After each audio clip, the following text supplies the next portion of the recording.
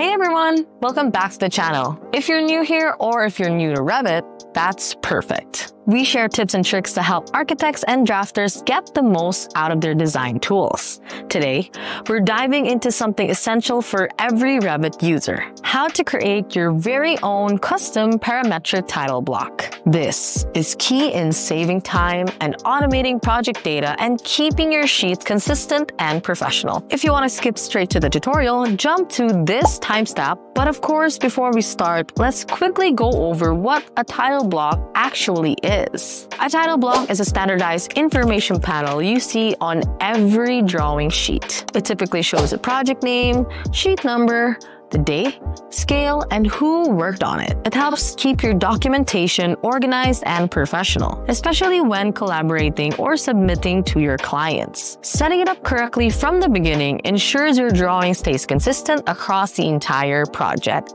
Okay, that explains it. Let's get into it.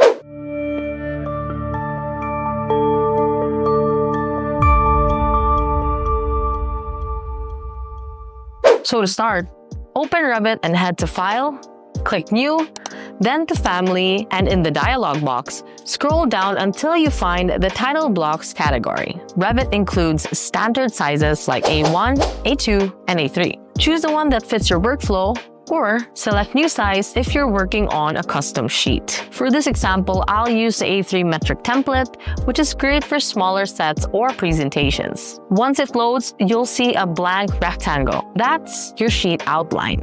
This is where we'll build the structure of your title block. Creating a title block in Revit uses 2D drafting tools, not 3D modeling. So, head to the Create tab and use the Line tool to draw the outer border and internal divisions. You can also use Trim, Extend, and Fillet for clean corners and organized sections. Now, think about what information you'll need. Project name, client address, sheet number, revisions, and so on.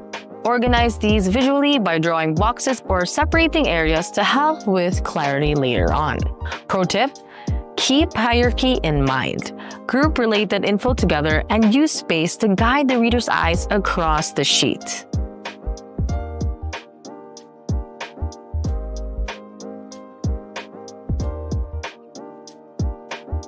Here's where the real power of Revit kicks in. Parametric labels. Click Label from the Create Lab, then click on your sheet where you want the dynamic text to appear. The Edit Label dialog will pop up.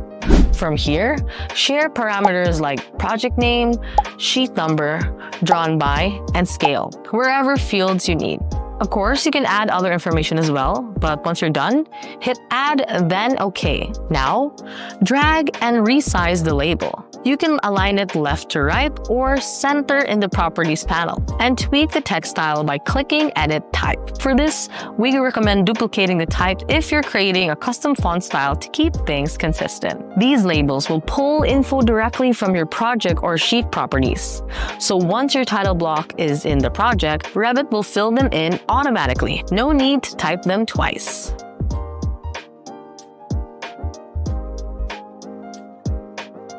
For information that doesn't change like drawn by or date, use the text instead of label.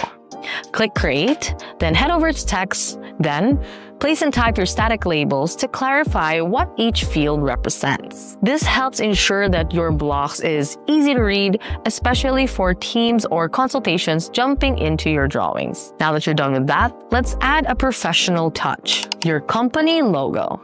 Go to Insert, then image, then browse for your logo file. Once you find it, place it on your sheet. If you can't find it, you can always draw a temporary shape like a rectangle or a circle to help with alignment. Then once you're ready, delete it once the logo is in place. Resize and position it so it looks balanced with the rest of the layout. Another pro tip is make sure your logo file is high-res and preferably in PNG format with a transparent background. Now that we've set up your title block, why don't we test it out? Click Load into Project and open any sheet within your Revit file. In the Sheet Properties panel, change the title block to your new one. If you've done everything right, your parametric label should now pull in live data from your project info.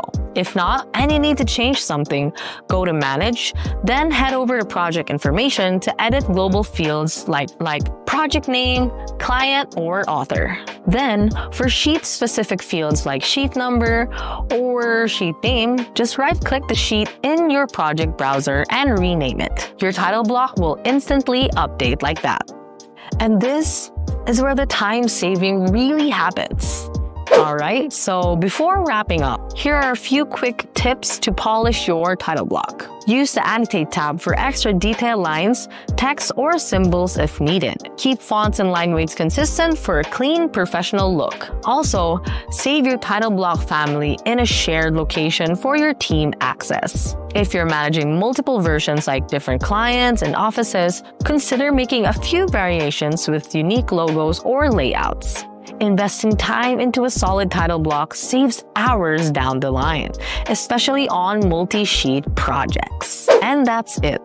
You built your own custom parametric title block in Revit from start to finish. Wonder what else you can do? Go ahead and check our Revit playlist on our YouTube channel to learn more and even learn how to model full home. If this helped you out, give us a like and don't forget to subscribe for more Revit tips and drafting strategies. If you have any questions that you want us to cover, drop them in the comments and they may be our next video. Thanks for watching and as always, happy drafting!